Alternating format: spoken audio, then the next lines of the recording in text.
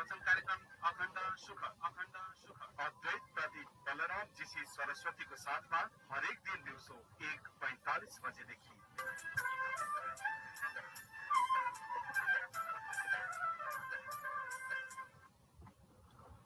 नमस्कार अद्वैत प्रदीप बलरामजी सरस्वतीबाट सबैलाई प्रेमले अभिवादन संसारका बुद्धिजीवीहरू अ, अर्थात् संसारको यो नाशवान प्रकृति देखेर अर्थात् शरीर एक दिन मर्नै पर्छ संसार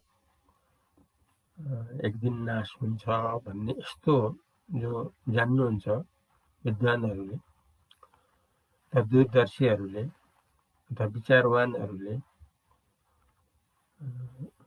अब उहाँहरूले यो मुक्तिको लागि सबैको हेर्दाखेरि दुईटा प्रक्रियामा लागेको हामी पाउँछौँ।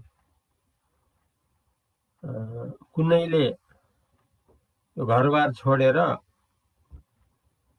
तीर्थ व्रत अथवा कहीँ गएर अनि साधन गरेर अनि मुक्ति प्राप्त गर्ने प्रयास गरेको पाइन्छ भने कसैको प्रयास भने घर नछोडेर घर समाज आफ्नो नछोडेर आफू जहाँ बसिएको छ जसरी रहिएको छ त्यही रूपमा रहिकन अनि यथार्थ ज्ञानलाई जानेर अनि आफ्नै ठाउँमा मुक्त हुने प्रयास गरेको पनि पाइन्छ। यसरी मुख्य रूपले दुई प्रकारबाट हामीले पाउँछौँ संसारकै गतिविधि हेर्दा। अर्थात् कुनैले यो मुक्तिको लागि अथवा भगवान् प्राप्तिको लागि अथवा सिद्धि प्राप्तको लागि वैराग्यपूर्वक भगवान्मा परिणतिको लागि आफ्नो जो घर व्यवस्था छ त्यसलाई छोडेर अनि अन्यत्रै गएर अनि साधन गरेर त्यो साधनबाट सफलता प्राप्त गर्ने प्रयास गरेको पाइन्छ। यस्तो प्रयासलाई योगको विधि भनिन्छ। यसमा जस्तो अब यो परित्यागको भावना हुन्छ। अर्थात् मैले ठुलो कुरा प्राप्तिको लागि घर त्याग गर्छु परिवार त्याग गर्छु आफ्नो समाज त्याग गर्छु र एकान्त गएर या तीर्थस्थल या त्यस्तो साधना गर्ने जहाँ व्यवस्था छ त्यहाँ गएर अनि त्यहीँकै नियमअनुसार अनि गुरुले भनेअनुसार किनकि सबैमा गुरुको व्यवस्था रह भएको हुन्छ। अनि आफ्नो सफलता प्राप्तिको लागि गुरु अनुसार मैले फल्ने ठाउँमा गएर यसरी साधन गरेर गर्छु भन्ने यस्तो हुन्छ प्रयास र गरिएको हुन्छ। यस्तो गर्ने क्रममा कतिसम्म पाइन्छ भने त्यो साधन गर्ने ठाउँमा यो कुनै पनि वस्त्र नलगाएर लगौटी मात्रै लगाएर पनि यस्तो साधना गरेको हामी देख्न पाउँछौँ देख्दछौँ। अर्थात् त्यागको रूपमा। मैले सबै कुरा त्यागेको छु। र ठुलो कुरा परमात्मालाई लिनलाई म प्रयत्नशील छु। त्यसको लागि मैले पहिला त घरबार मैले त्यागेँ आफ्नो परिवारहरूले त्यागेँ। एउटा मुख्य काम त मैले त्यो गरिसकेका छु। अब दोस्रो काम चाहिँ नि आफ्नो साधन स्थलमा वस्त्रहरू पनि त्यागेर जति ठन्डीमा पनि ठन्डीलाई सहने शक्ति लिएर मैले भगवान्को उपासना गर्छु। र जस्तै गर्मीमा पनि मैले चाहिँ नि त्यसलाई गर्मीलाई सहेर म साधना गर्छु। भनिकन यसरी एक्सरा कपडा लगौटी मात्रै लगाएर गर्ने यस्तो पनि हामी पाउँछौँ। यसरी मैले चाहिँ नि ठुलो कुरा प्राप्त गर्नलाई यसरी मैले यो नयाँ प्रक्रियालाई मैले चाहिँ नि अवलम्बन गरेको छु। यसलाई मैले चाहिँ अभ्यास गरेको छु। यस्तो नयाँ कुरा मैले प्राप्त गरेको छु। भनेर यसरी दुईटामा विशेष त्यो आफूलाई गर्व गरेको पाउँछौँ हामी एउटा मैले घरबार सबै त्यागेँ। ठुलो कुरा प्राप्तिको लागि अर्थात् भगवान् प्राप्तिको लागि। र दोस्रो कुरा मैले नयाँ आसन ग्रहण गरेँ। लगौटी आदि लगाउने अथवा विभिन्न जो छ त्यो चाहिँ नि मैले एउटा त्यसलाई ग्रहण गरेँ नयाँ प्रक्रिया नयाँ अभ्यास नयाँ साधना मैले ग्रहण गर्ने भन्ने यसरी दुईटामा विशेष गर्व गरेको हामी पाउँछौँ। एउटा मैले त्यागेँ अर्को कुरा मैले नयाँ आचरण ग्रहण गरेँ भने। यसरी आफूलाई आफ्नो ठुलो कुरा अर्थात् भगवान् प्राप्तिको लागि म यसरी लागिराखेका छु भनेर यस्तो प्रयत्न गरेको हामी पाउँछौँ। अब जसले घर परिवार नछाडिकन आफू पहिला जसरी बसिएको थियो त्यसरी नै यथावत रहिकन। अर्थात् घर परिवारकै साथमा समाजमै रहेर अनि विचार बदल्ने। अर्थात् यो जो परम्परागत जुन विचार छ जन्म मृत्युको जो छ त्यसलाई त्योभन्दा माथि उठेर यो अजन्मा अमर अद्वितीय परिपूर्ण वस्तुमा परिवर्तन। अर्थात् परमात्मा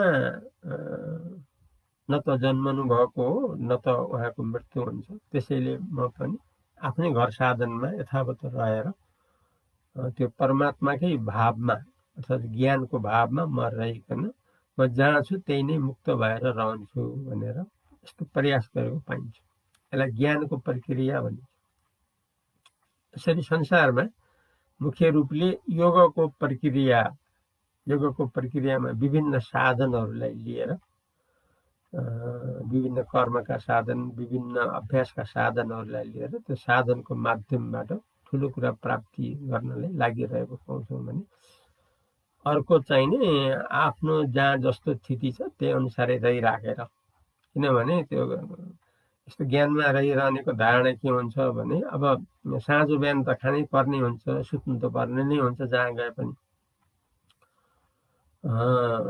अनि बाहिर जाँदा के हुन्छ भन्दाखेरि त्यहाँ गएर पनि अब साँझो बिहानको त्यो व्यवस्था त मिलाउनै पर्छ। खानपिनको व्यवस्था त मिलाउनै पर्छ सुत्नेको व्यवस्था पनि मिलाउनै पर्छ। अब ठन्डी होला तातो खानु मन लाग्ला अब तातोको व्यवस्था पनि गर्नु पर्यो। अथवा ज्यादा गर्मी होला त्यसको लागि शीतलको लागि त्यसको लागि पनि केही गर्नु पर्यो। त्यस कारणले अब यहाँ भएको व्यवस्थालाई छाडेर अब अन्त गएर फेरि नयाँ व्यवस्था गर्न लाग्दा त आफ्नो ध्यान त साधनपट्टि भन्दा त त्यो व्यवस्था मिलाउने चाँजो पाँजो मिलाउने साँझो बिहानको व्यवस्था मिलाउने राति सुत्ने व्यवस्थाको मिलाउने अनि त्यतापट्टि मात्रै ज्यादा केन्द्रित होला भन्ने सम्झेर झन् नयाँ समस्याहरू थप होला भनेर त्यो पनि नहोस्।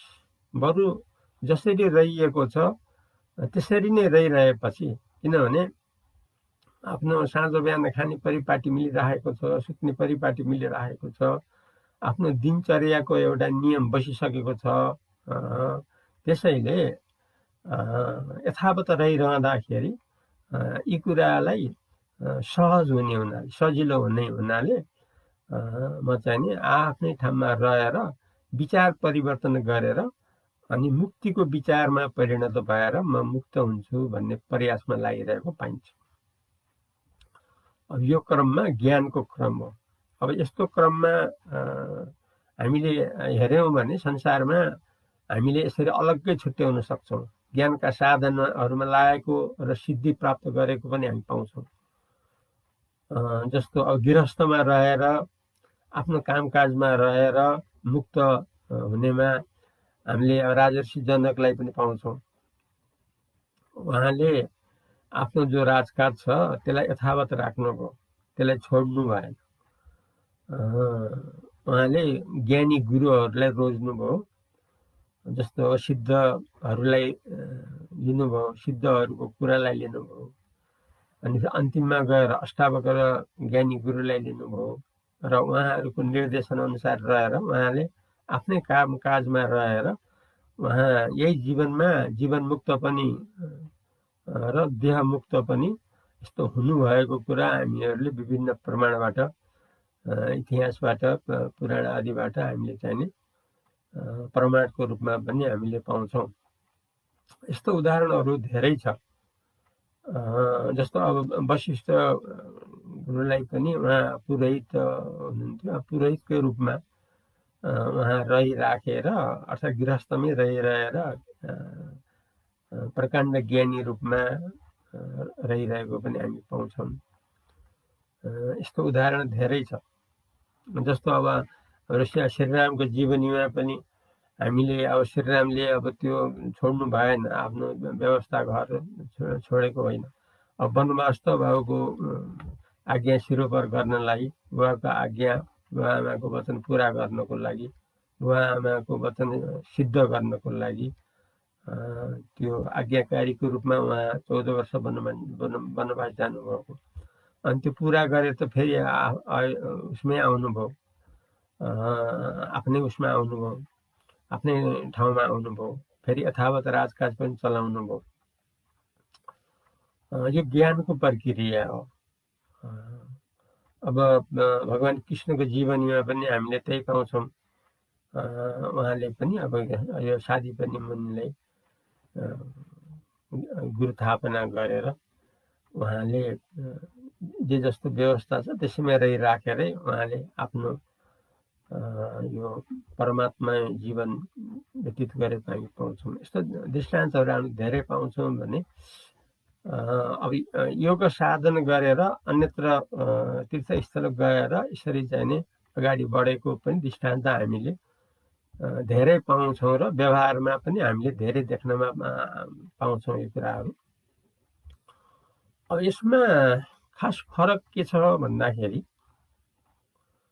योग र ज्ञानमा यी दुईवटा प्रक्रियामा विशेष फरक के पाउँछौँ भने योगीमा यो त्याग र ग्रहणको भावना प्रबल रूपमा भएको हामी पाउँछौँ।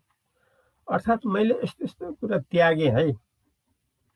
जुन कुरा अरूहरूले त्याग्न सकेका छैनन् जस्तो मैले घरै त्याग्दिएँ एकदमै तीर्थमा यसरी चाहिँ म बसेको छु अथवा म यसरी चाहिँ नि लगौटीको भरमा मात्रै पनि बसेको छु भनेर यसो एउटा नयाँ यो ग्रहण गरेको अर्थात् पहिला त्याग गर्न सकेको र पछि चाहिँ नयाँ आसन ग्रहण गर्न सके यस्तो त्याग र ग्रहणमा रहिराखेको हामी पाउँछौँ।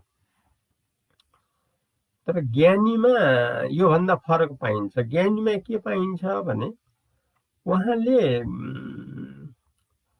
के भनिएको छ भने अकिञ्चन भवम भनेर भनिएको छ संस्कृतमा। अकिञ्चन भवम स्वास्थ्यम भनेर भनिएको त्यो भने के हो भने यहाँ संसारमा वास्तवमा कहीँ केही सत्य छैन है। यो त वास्तवमा रित्तो हो संसार। भरि भराउ जस्तो देखिन्छ तर वास्तवमा रित्तो हो। जस्तो सपना सपनामा त भरि भराउ देखिन्छ नि सपना देख्दा। तर वास्तवमा त्यहाँ त रित्तो छ।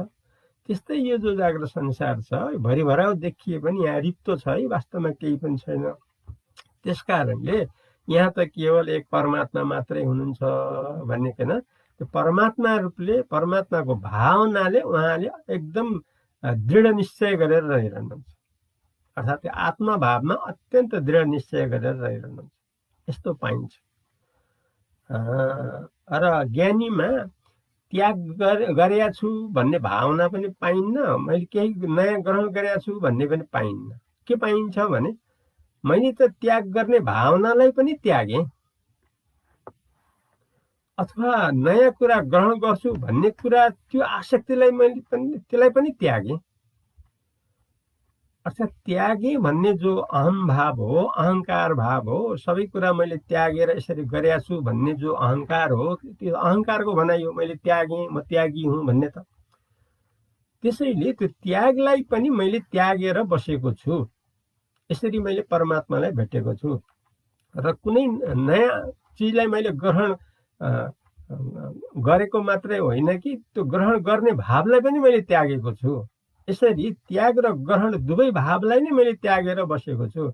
मैले त सनातन सचिदानन्द परमात्मा हो त्यसलाई मात्रै लिइराखेको छु। किनकि यहाँ कुनै त्याग गर्ने वस्तु पनि छैन कुनै ग्रहण गर्ने वस्तु पनि छैन। यसरी त्याग र ग्रहणदेखि माथि रहेर म बसिराखेको छु। किनकि संसार त अकिञ्चन हो वास्तवमा केही पनि होइन। भनेर यस्तो दृढतामा उहाँ रहिरहनुहुन्छ ज्ञानीहरू। जुन कुरा योगीहरूमा दुर्लभ हुन्छ। र त्यहाँ भनिएको छ त्यो यो कौपिनत्व अपि दुर्लभम भनेर यो लगौटी लगाउनेहरूलाई पनि यी कुराहरू दुर्लभ छ भनेर किनकि त्यागलाई पनि त्यागेँ ग्रहण गर्छु आसक्तिलाई पनि त्यागेँ यसरी आफ्नो जो सनातन यथा स्थित जो चैतन्य वस्तु हो त्यसलाई मैले लिइराखेको छु यसरी नै सधैँ मुक्त रूपले जीवन मुक्त रूपले देह मुक्त रूपले रहिराखेको छु भनिकन अस्मात अहम असी यथा सुखम भन्नुहुन्छ। यस कारणले म चाहिँ नै जो आफ्नो सनातन आनन्दै आनन्द हो त्यसमा म यथावत रहिराखेको छु भनेर यसरी ज्ञानवानले भन्नुहुन्छ। यो हो अत्यन्त सरल र सबैलाई सुलभ। आजको प्रसङ्ग यति नै राखौँ।